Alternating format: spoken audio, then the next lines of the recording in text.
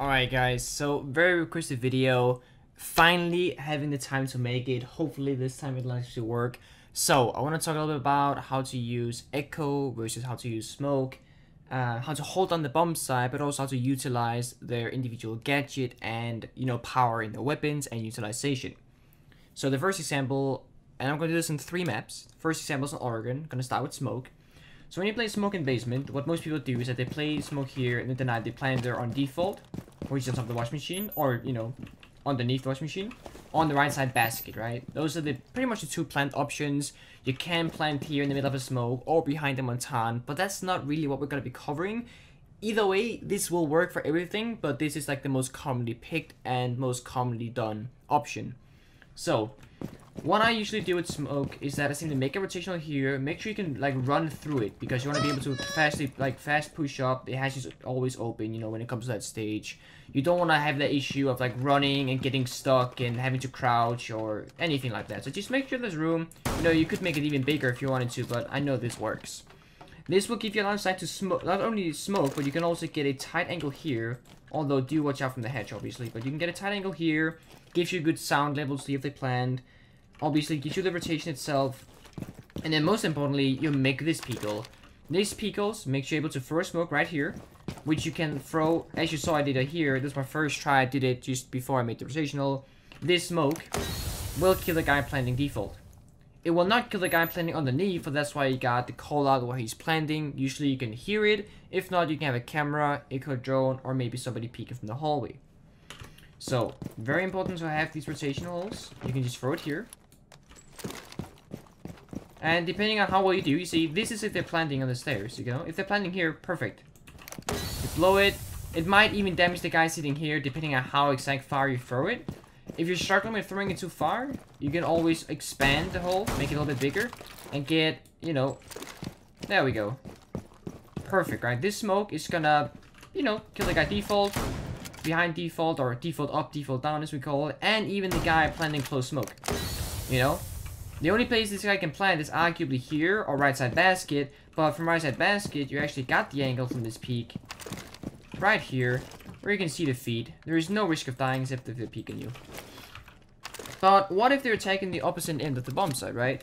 Usually what I do is that I play close with shotgun. That's one option. But if you want to deny the smoke, what you gotta do, simply stay alive behind this box. And you don't really want to take the chance with throwing a smoke, you know, like like above the doorway because where they're gonna be planting is gonna be here in this very corner. So the safer way to smoke this guy without having the risk of missing or whiffing it or simply messing up the smoke grenade is simply to throw a smoke right here. Super easy, super simple. You throw a smoke on top of this wooden plank and it simply explodes and will damage, you know, in this entire area. And like, what if they're planting a doorway, Pingu? Well, they, they, they're not going to do that. If they are, you can shoot them. If they are, I mean, you can even, like, hit the smoke even further behind, you know, on this part down there. Behind the box, obviously, so down here. If not, you can always throw towards it the doorway, you know, easy, like, easy as pie. Doesn't matter. You could have a C4 backup. So simply just go for the wooden uh, plank. You can hit the guy planting default. But again, it depends on the situation, you know. At this certain point, you could just play shotgun close, reinforce piddle Bear, reinforce Care Bear, as we call them. That's the callouts we use in pins at least. Um, but yeah, I would suggest you either play with shotgun, you know, smoke the stall once, fall back, save the last two smokes for the belt. For the plank, sorry.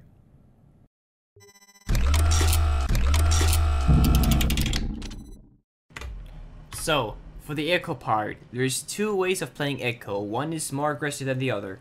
I'm gonna start with the way that I play echo, and I'm gonna go towards the way that how other people can play echo. So a good example of how I play Echo as you saw in the qualifiers from Basic Siege, if you're watching that, or if you're watching some Go Force, or just watching my stream in general, how I do it is that you can play an area like this on stairs, go onto your drone, and you're using this as a Valkyrie camera. This camera is super hard to see. The only way you can see it is this little blurry thing. And trust me, like right now, I know it's there, I got the icon, it's easy to see. The round is over, like like middle of the prey, like you're breaching the A-hatch, you got two roamers above you, you know, bullets flying, droning, communication, it's easy to miss, because why would it be there? And there's no indication of it being there, you know, I'm not gonna, I'm not gonna shoot at anybody, I'm not gonna move it. It's literally just gonna stand here like a stealth drone. And I'm gonna use it for info. So by placing it, you know, you don't have to place it right here. You can plant it in the doorway, like over there, over here, up here, you know, whatever. Just find a spot. Preferably away from the camera so they don't see when aiming for it. So use this drone as info. And with this info, you can see garage window, you can hear garage doors, you can see main door, you can hear school, you can hear kitchen, kitchen hallway. Uh, you can even hear meeting and armory stairs, right? You got so much info. And what you do is you use it to your advantage. Oh, you see a guy hallway? Oh, you know, that guy can be dead. Oh, you see a guy garage stairs close? Oh, you take out the shotgun? You can kill him, right? You can play barbed wire as well, like, easy. He goes to the punch in the barbed wire, he's free-fired. There's no way that guy's gonna beat you in a duel. Oh, uh, Hibana's like main door, like with a gadget out, about to shoot this hatch. Oh, you just peek fast. You know exactly where they are. You know how to, you know, aim with the weapon, how to shoot. You know, you just press left click on their head. It's a kill. I got so many kills this way simply because of people being unaware of the situation because of what most echoes do. I'll show you. What most echoes tend to do instead, and this is something that we saw in the qualifiers against us, was playing dogs, ESG, the American teams, like the ones that did play Echo, they would literally have an Echo drone, you know, where, like, on, on the side of the map where the enemy was pressuring, for the plant, that is, and they would have it, let's, let's just pretend and say here, okay? Actually, let's move a little bit. Let's say here, okay? You can shoot there and you can shoot there. It's perfect. So you just sit in a corner where you're most unlikely to die, which is probably like this corner right here, right? You just lay here on the drone, and the only thing that you do with Echo is that, you know, A, you shoot the Montagne so that his shield goes from extended to non-extended, and you can shoot his feet, you know, communicate with a teammate, or you shoot the planter to prevent the plant. And that's the other way of using it, being completely passive and playing for deny. One thing you could do with this trick is actually play smoke and echo in the combination that I showed earlier, where you simply play smoke on bomb site, smoking, and when the third smoke is out, they're gonna be like, oh, it's fine, you know, we got it. Easy, they can't stop us now, maybe with a lucky C4, but hey, we got it guys, this is plan, go for it, whoops, easy. It's very, very easy to forget about the Echo drone. It's pretty hard to remember if anybody killed it, unless your team really focuses on that kind of thing. And it's really hard to find it as well, because this drone right here, the only way you can shoot it is actually by being aggressive. So unless you're literally droning for it, see it, go up and shoot it before you plant, there's no actual way of killing it. Because for the most part, people are not even aware of it until they get shot the first time, and then the whole panic comes out because you're drunk. So a good tip is like shoot somebody, take the drone down, run away, hide. Save the drone. When they're drunk, shooting this little tiny drone, that is partly stealth and is super fast, it's really hard for them to do that, especially under pressure. So you just fall back, you know, it's a 7 second plant time, right? and then you can go back up again, do the same thing, you jump down, you play with them a little bit, maybe you can go even a little more aggressive, you know, go here, whatever, you know? You don't want to waste the drone, you don't want the drone to die, and you're not using the drone for info. You're simply using the drone for the gadget utility of stopping the plant. So it's a complete opposite of what you're already doing above. Because if you're playing above, as I showed, you're playing aggressively and you're playing off info. Whereas here, you're playing off deny of the plant, either for time-wise, pressure-wise, or simply to annoy them and show them, hey, you can't just do this yet, you missed a step, right?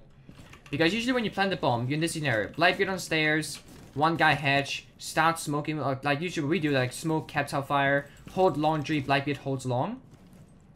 And then a guy runs here. Whoop, whoop, whoop. Oh, he plants. First thing to do, what do you do? You check if there's a pre-planted smoke down here on the wall. You know, just, just quickly when you run, you know? Just make sure there's no pre-planted smoke. Okay? Second step should be looking for the echo drone. Just really quick, either drone for it before you start running. Or just real quick, just like glance in the landscape here. Okay, nobody's there. Okay. And then try and plan with your face towards the wall. I'm not sure if this is a bug or intended. Um, but it seems like half the time when I shoot someone with the Echo Drone and when other people shoot me with the Echo Drone, it doesn't stop the plan because it's shooting me in the booty.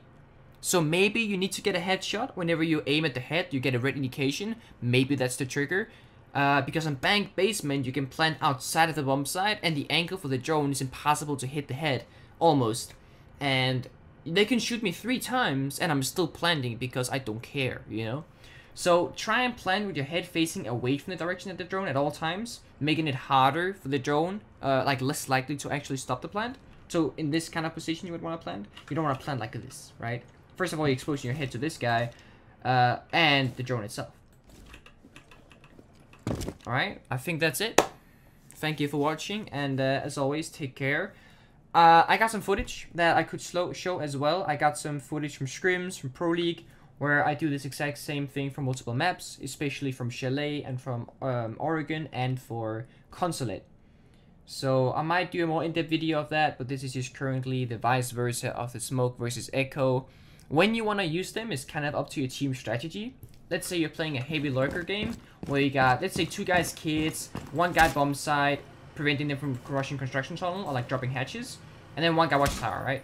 Well, you can be an echo on site, waiting for them to plant, or you can utilize it, get upstairs, hold this area like an anchor, okay? Because that you can kill so many drones here for free. They need to drone this every single time, and the only way to kill you really is to take control of the armory stairs. But how on earth are they gonna take control over armory stairs when you got a guy watchtower and you got people up here, right? So by having people up here, it means that they need to focus their entire like goal on clearing top floor. If you didn't play aggressive stairs, they could literally just take Hibana, breach the hatch, take two guys holding rotations, and just plant the bomb because we couldn't stop them. But by taking aggressively stairs and playing upstairs, that allows us to force them to actually take it step by step. They can't just, oh, let's Hibana A. Oh, let's run down this hallway because, like, we're bored or something. Like, let's go in Armory. Oh, no, there's Faber and a guy playing shotgun close.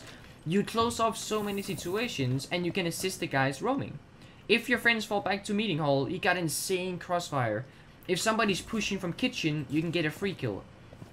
If it looks like a bait, if it looks like they're aware of your situation, which they will because they'll drone you, you need to expect that and respect that, right? Don't peek it. You're playing holo versus like, I don't know, 80% of the time, 75% of the time, an ACOG player, right? Take this peek with a holo, you can win. Sure, you're an amazing player, you got the aim, you got the angle, but you don't have the peak advantage. You're a slow, you're a one-speed operator, right? You're gonna be going so slow directly into the line of sight of an ACOG player holding down your angle. All it takes for him is a left click. If you're a high ping player or a fast operator, or just like if you need to make a play, take the peak. But if anything, wait for him to get closer to utilize the holo and to utilize the fire rate. Because on long distances, me spraying like this is not gonna get me anywhere. What I gotta go for is a clean one tap, right? I gotta go like this and hope that I get like the height right, the length right, and uh, the angle right. And if not, I'm just doomed. So you really need to take your time, let them push towards you, and when you see them, don't be like uncon like be confident in your aim. Be comfortable in your ability to shoot. Because if you shoot him like this and then peek him, first of all, he knows that you're gonna do it because the second you give away the drone, they know it's there and they know somebody's gonna peek him, so he's ready for it. If you simply just use the camera, like nothing is there, and you just pretend that you don't know he's there until you peek him, you just go from this into this. And there's no way he's gonna expect that or predict that unless there's a drone on you, which you should be aware of. So, once again, thank you for watching, guys.